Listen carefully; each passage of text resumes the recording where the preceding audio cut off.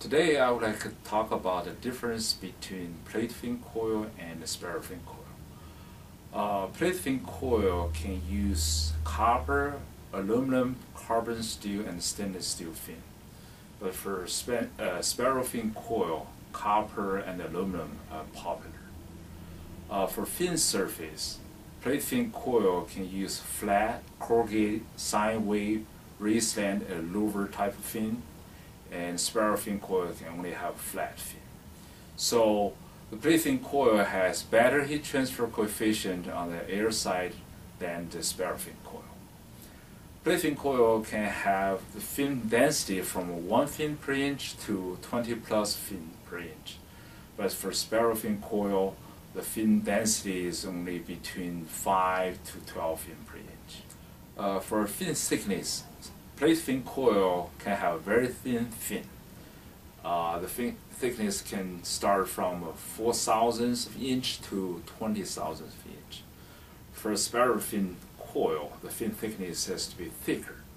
Normally it's from 12 thousandths inch to 30 thousandths inch.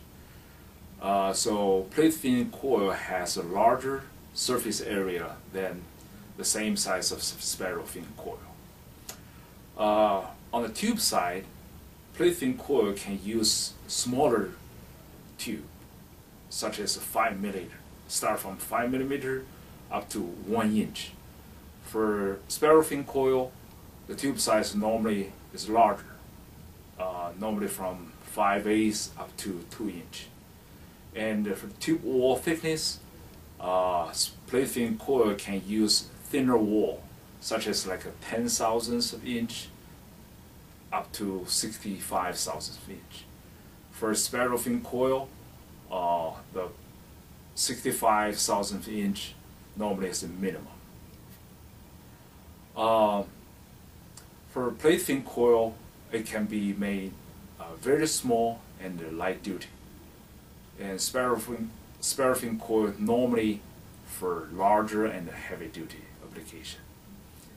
Uh, on the tube fin contact. Mechanical bonded fins for plate fin coil is good at a low temperature if the material of the fin and tube are different. But for spiral fin coil, they always have a very good contact for the embedded spiral fin. Uh, under the wet surface condition, plate fin coil has better performance on condensate carryover uh, spiral fin coil has relatively bad performance on that.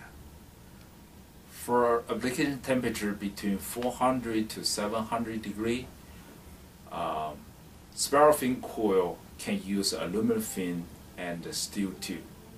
Uh, but for plate fin, you can only use steel or stainless for fin and the tube.